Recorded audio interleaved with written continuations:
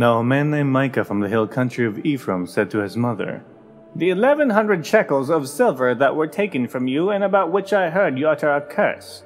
I have that silver with me. I took it. Then his mother said, The Lord bless you, my son. When he returned the eleven hundred shekels of silver to his mother, she said, I solemnly consecrate my silver to the Lord, for my son to make an image overlaid with silver. I will give it back to you. So after he returned the silver to his mother, she took two hundred shekels of silver and gave them to a silversmith, who used them to make the idol, and it was put in Micah's house. Now this man Micah had a shrine, and he made an ephod and some household gods, and installed one of his sons as his priest. In those days Israel had no king, everyone did as they saw fit. A young Levite from Bethlehem in Judah, who had been living within the clan of Judah, left that town in search of some other place to stay.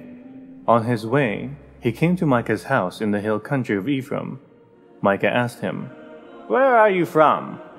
I am a Levite from Bethlehem in Judah, he said, and I'm looking for a place to stay.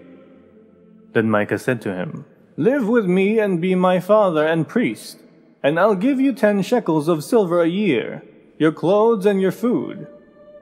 So the Levite agreed to live with him, and the young man became like one of his sons to him.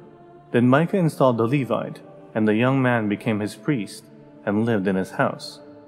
And Micah said, Now I know that the Lord will be good to me, since this Levite has become my priest.